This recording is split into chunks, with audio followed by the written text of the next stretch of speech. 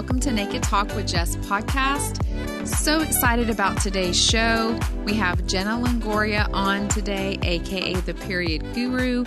She's been on Naked Talk with Jess podcast before. You can find her in episode 22, where she's sharing all about periods, ovulation, and fertility.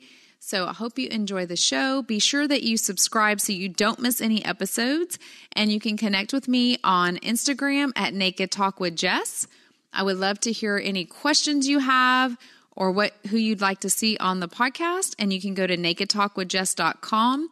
You'll see a little microphone. Just press it and send your question in. Now enjoy the show. All right, we have Jenna Longoria, aka the Period Guru, and she is going to share with us today about birth control and also some ways that we can get back to regulating our hormones. And that's whether we've been on birth control or if we are coming off of birth control. We've had a lot of questions about this. And so I'm really excited to talk to Jenna. She has been on Naked Talk podcast before, so you can go onto the podcast and check that out. We've had some great conversations so far. So, hi, Jenna. Welcome to Naked Talk with Jess podcast. How are you hi. doing? Hi, Jessica. I'm doing well. Thank you so much for having me on. Thank you for being here. Um, so, can you tell us a little bit about um, what how you help your clients and just a little bit about your work? Yeah, sure. So, um, I am a functional nutritionist and I specialize in hormone health. And what I do is I help women reclaim their hormones by testing, not guessing. So, um, in functional medicine, we're always looking for the root cause. So, a painful period or acne is a symptom, it's not the root cause. So, you know, a lot of doctors like to prescribe the birth control pill to maybe regulate a period or get rid of hormone hormonal acne when actually that's just silent, silencing a symptom not getting to the root cause. So with all of my clients i do um, comprehensive stool testing which is a, called a gi map. So we look into their gut health and i do a diagnostic hormone test. So we can also look at their hormones because what i found throughout the years was testing hormones isn't enough um, it's only half of the piece of the puzzle and we need to look at both hormones and the gut because a lot of hormones are actually converted and synthesized in the gut. So if something's wrong with the gut, generally the hormone the hormone health will suffer. Yeah, that's so true. And I've been, I'm sure before that I started my journey to health, looking into things, it's been, gosh, over nine years ago. But when I really started learning that gut and brain connection and that there's so much more than that, it has been just night and day for my family and myself. And actually, you have had a session with one of my daughters. And so I think that's important for us to know to be informed, right? Make our own decisions, but I'm really passionate about people being informed of all their options and asking questions. And we had to be an advocate for ourselves, but then also for our children. So I agree with you 100% on that.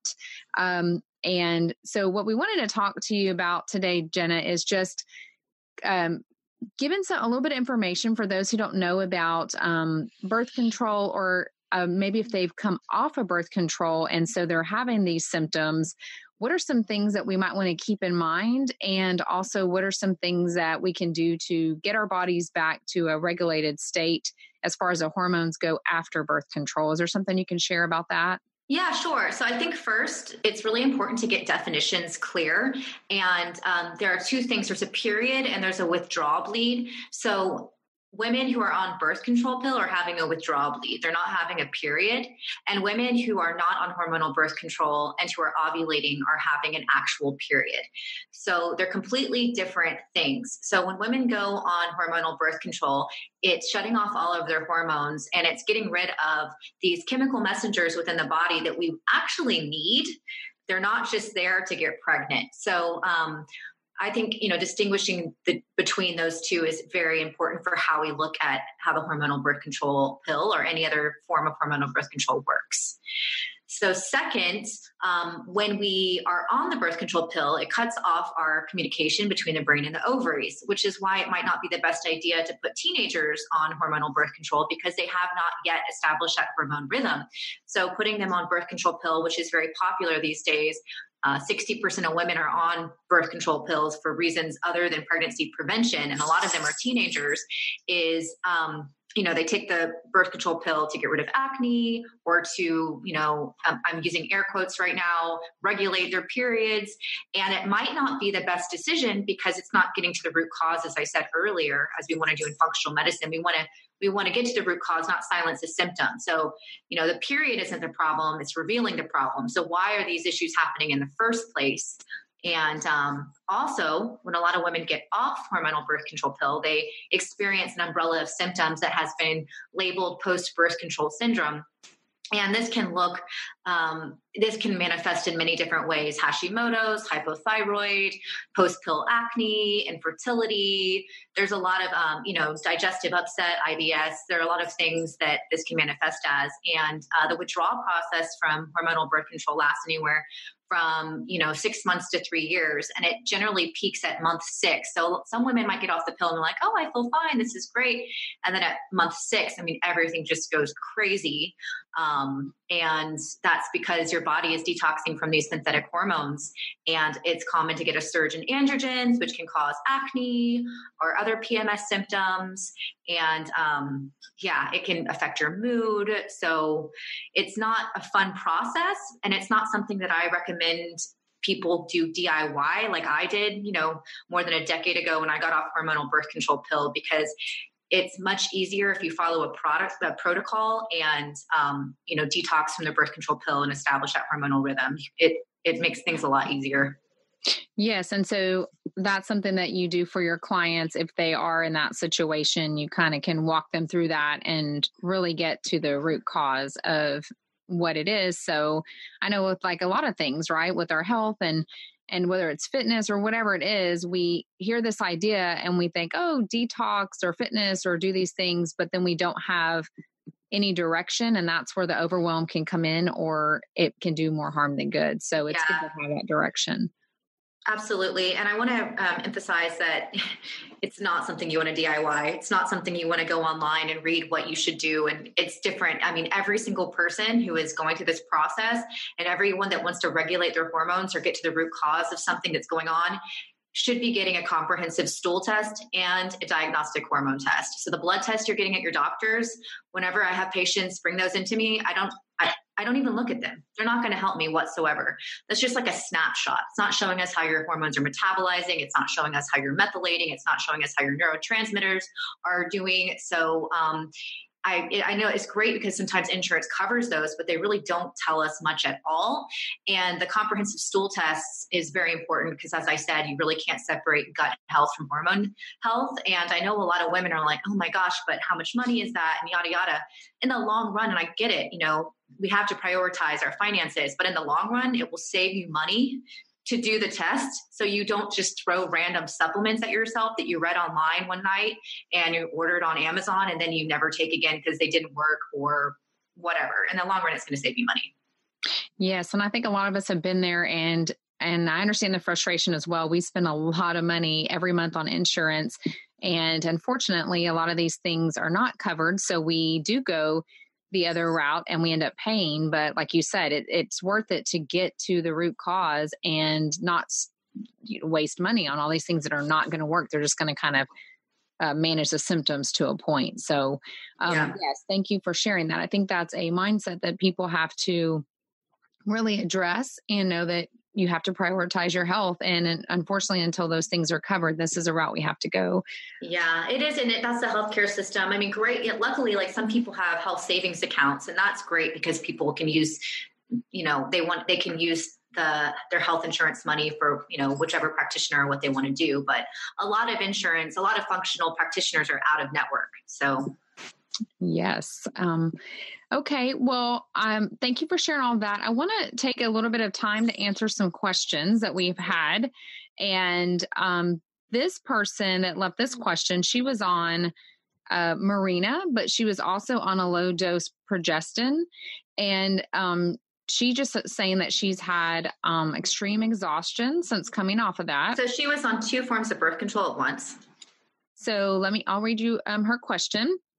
And she okay. says she's had extreme exhaustion, not sure if it's hormone related. and she had a long and heavy withdrawal bleed, but now she's had a she said a period, but you just told us it really is not a period. It's that bleed almost every day since October 30th. And she's only been off a few days in the whole month. So she's worried she might be anemic. Um, so she's wondering if her body isn't producing progesterone since she was also on a low dose progestin with the Mirena. Wow. So, first of all, um, that's ridiculous that she was on two forms of birth control pill. And whatever doctor prescribed that, shame on them. Um, that's um, but this podcast is not about that. Um, so she could have been ovulating, first of all. The Mirena low dose progestin, which I'm so happy that you called it progestin because some doctors will call it progesterone only pill, and it's not. Progestin and progesterone are completely different um, compounds. So uh, on the Mirena, the first year, 15% of women will ovulate, and the second year, 85% of women will ovulate. So I don't know if she fell in that spectrum, and if she was ovulating, it would be impossible for me to know without knowing her history. Um, so if she was ovulating, then she could have been making progesterone. Or uh, maybe she wasn't ovulating. In that case, she wasn't making progesterone or she could have been ovulating and been under a lot of stress and still been low in progesterone. So, you know, there's no way to know unless I test her hormones. Um, the fact that she had it taken out and then she's been bleeding ever since, she definitely needs to go get that um, investigated because her body is telling her that there's something wrong. So I would definitely go get uh, your diagnostic testing and see because I can't guess if you have low progesterone based on your symptoms. As much as I'd like to, that's it doesn't work that way. And those quizzes online that are trying to predict what hormone you're deficient in, they're great for pointing you in the right direction, but it's impossible to um, diagnose with a quiz.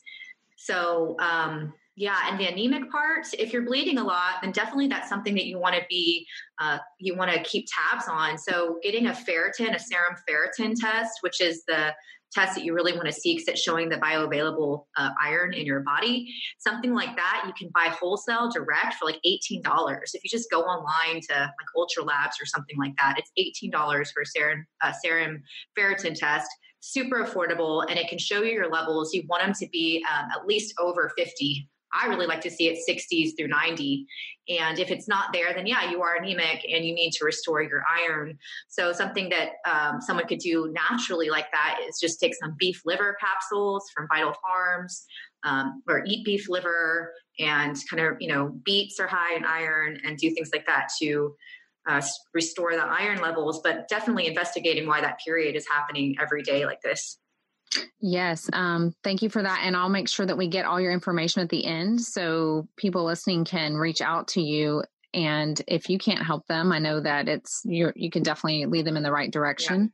Yeah. Um, okay. And then let's see there as someone else is saying um, they want to know when it's time to address a low progesterone post birth control um, they think that it, their issues might be because of low progesterone Mm-hmm. They've all she's always tended to be estrogen dominant, but and um she she said she thinks being on birth control likely stopped her body from producing progesterone. Um, she's not sure if she should do a cream or something while her body regulates. Mm-hmm. Um, because she said she just obviously knows something's wrong. Okay. So definitely listening to intuition is great. You know, listening to your intuition if you know something is off. However, your intuition can't tell you what your hormones are doing. So getting a diagnostic test, seeing exactly what shows with your progesterone, your estrogen, and then you can know what to do. So I would not use any type of progesterone cream until you know what's going on with your hormones. And, um, you know, there are two types of estrogen dominance there's frank and relative. So, with frank estrogen dominance, you have more estrogen in the body, uh, like you have too much estrogen in the body, and you have low progesterone. With relative, it's when you could have normal levels of estrogen, but your progesterone is low. So you want a, a, a ratio of estrogen to progesterone. It's like 30 to 1. So um, 30, uh, 30 to 1. So you can have you can have estrogen dominance without having too much estrogen. Does that make sense? Yes, it does. And this is so fascinating and it's it's like a lot of different things that I'm sure you talk about as well, but I talk about is just being informed and really getting having that information, it just helps us to make such better decisions for our body and our health and be our own advocate. Yeah, absolutely. And, you know, playing around with progesterone creams and supplements that um, can manipulate your hormone levels is just something that I don't advocate for unless you have um, quantifiable proof of what your hormones are doing. And I just want to say quickly, just going about a little bit of my experience. It's been about two years ago. So I'm 42. And I think something to be aware of is, and once again, on the podcast, I don't say to something's right or wrong. I just say, I want you to be informed to make your own decisions. But let's just face it, you know, people are very quick if they're selling something to say, hey, yeah, you should take it. Um, I know a lot of times for the cream, they'll say, oh, just do this cream. And I was on um, bioidentical uh, the hormone pellets. And mm-hmm. yeah. looking back, they I did not need it. Um, I had so yeah. many symptoms from that. My back broke out where I've never had that before.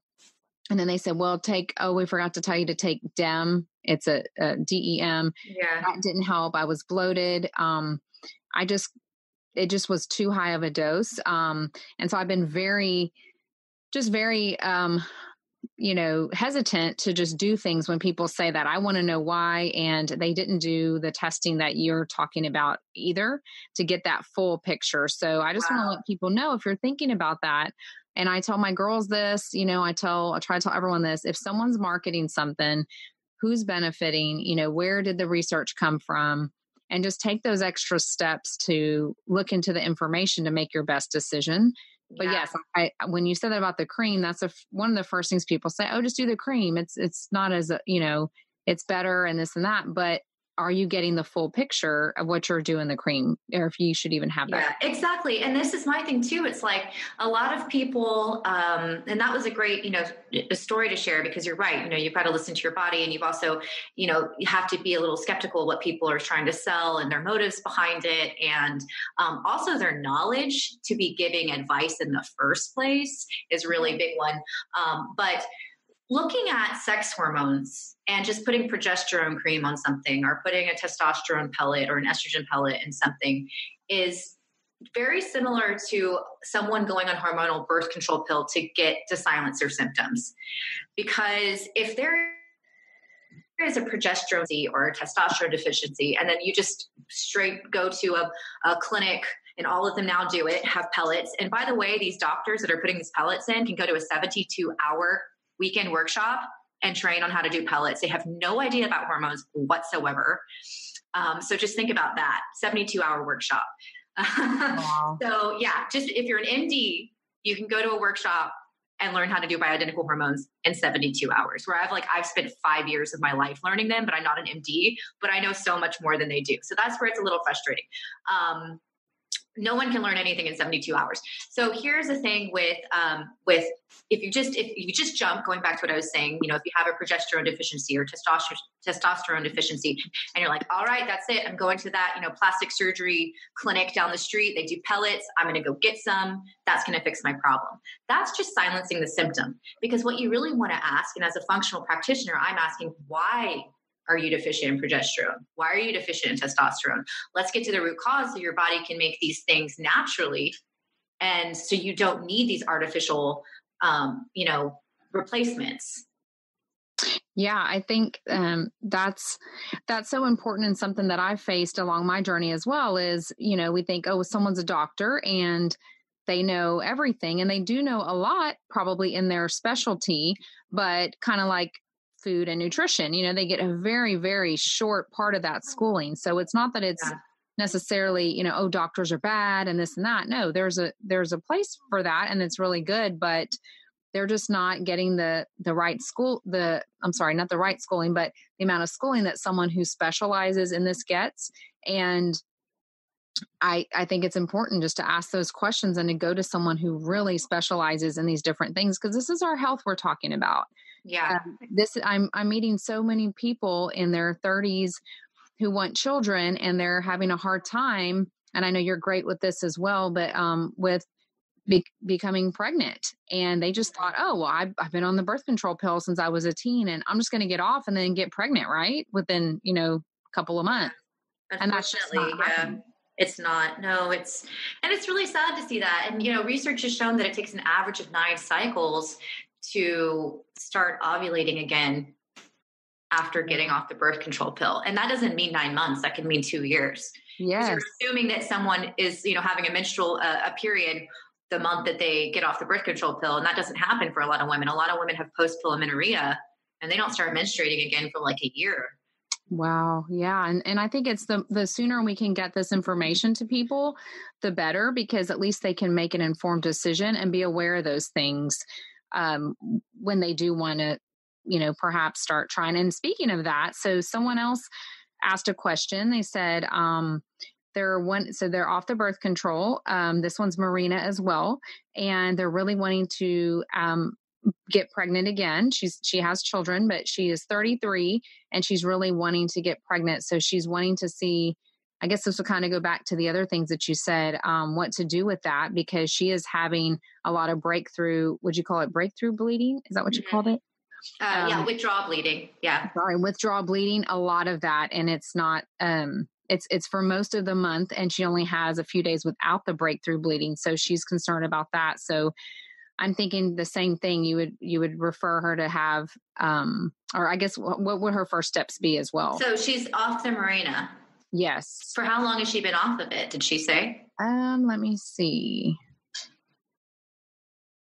Um, because if she's if she's been off of it for a while, she you know generally when you get off the birth control pill, you'll have a first bleed, you know, and that's a withdrawal bleed. But the bleeds after that will be most likely ovulatory bleeds.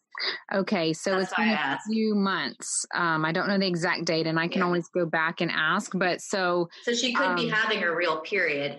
I mean, okay. it's a possibility but the fact that she's having a, such a long bleed is not normal so. And so what would you suggest as far as because we talked about in our other episode we talked about ovulation being the fifth vital sign. Mm-hmm. so is that something what would you suggest as far as her figuring out her ovulation? And you were always such a great guest and i'm gonna i definitely want you on again about the whole cycle syncing and that as well because as we're talking about birth control for those who are wanting to get on it for to prevent pregnancy, I'd love for you to come back on and share, hey, there's some other options as well.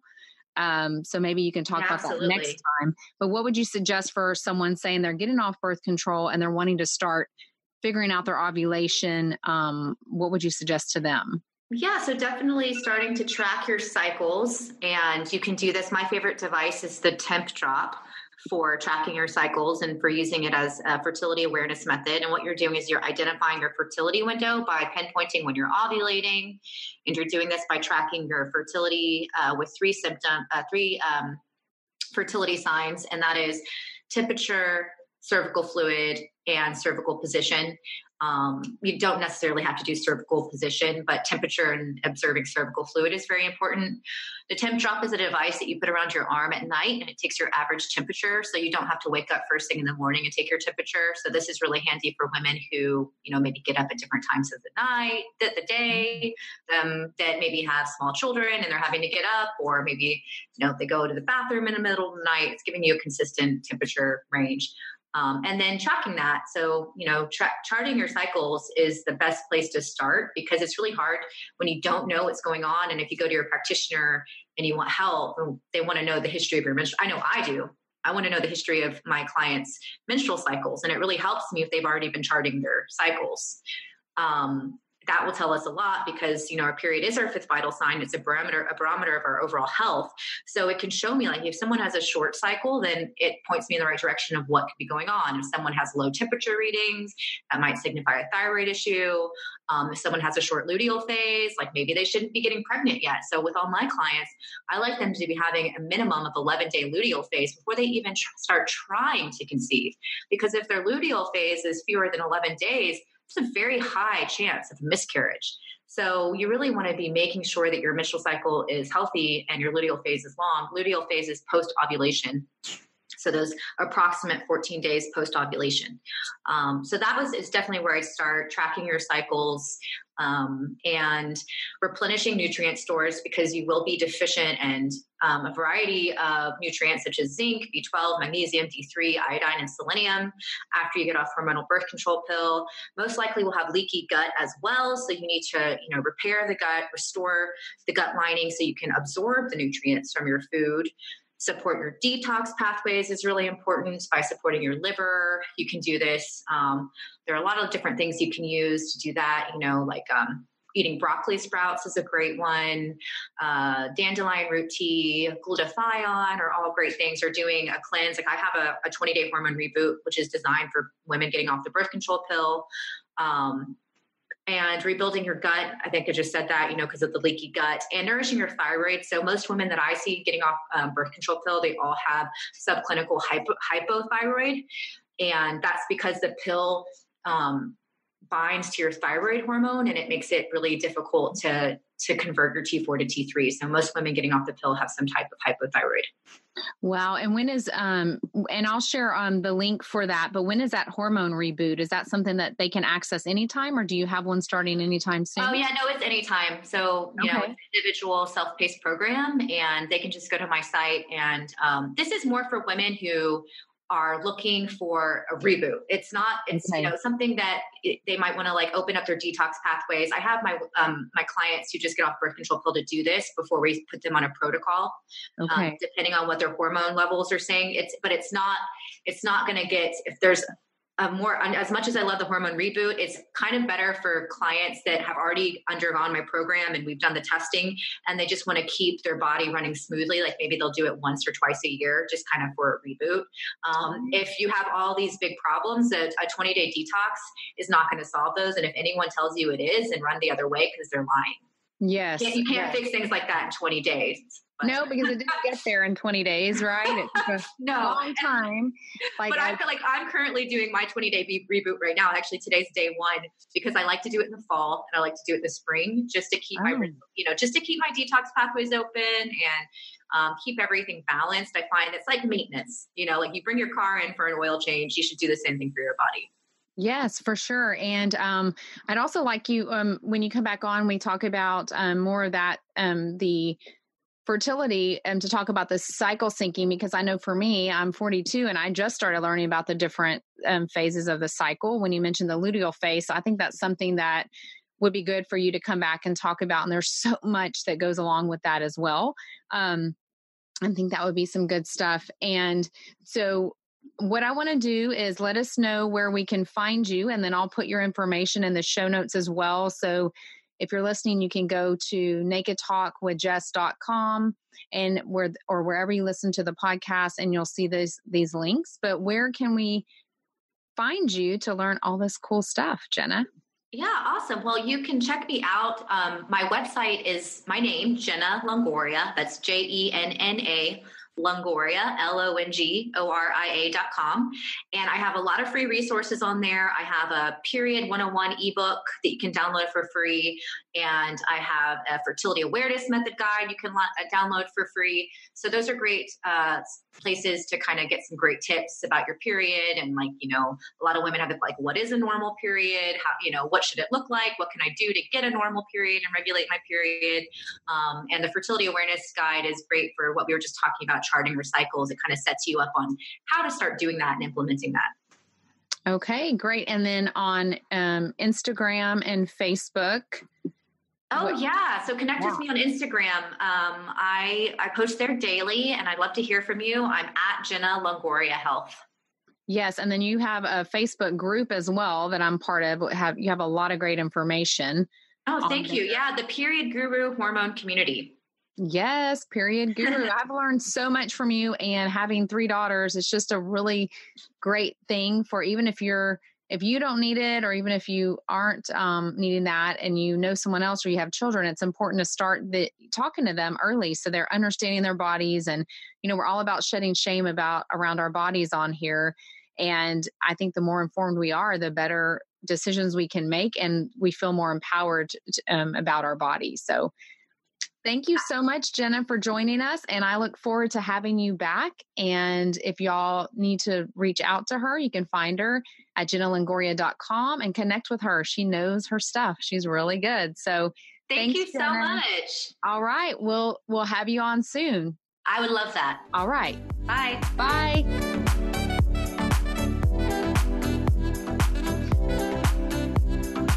Always love having Jenna on the podcast. She has such great information to share. And just through my own journey, I've, I've shared before that I just started learning about my body really at 40, even though I've had three children. There were so many things I didn't know. Um, I share in the Love Your Labia, Labia series that there's all kinds of stuff going on in our body that are wonderful and amazing. It's not all just a vagina down there, y'all. There's a vulva, a clitoris, your labia, all these great pieces of our body that we want to learn about. And when we know about them, we can be empowered to make better decisions. And I always want you to be informed and to be an advocate for your health.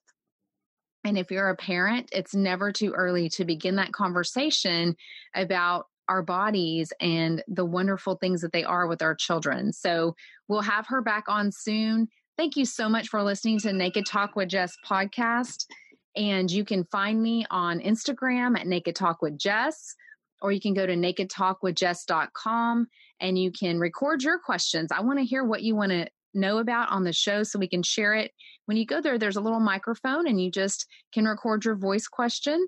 And hopefully, we'll get to that and we'll get to play it on the show. So stay tuned. And I can't wait to talk to you again on Naked Talk with Jess.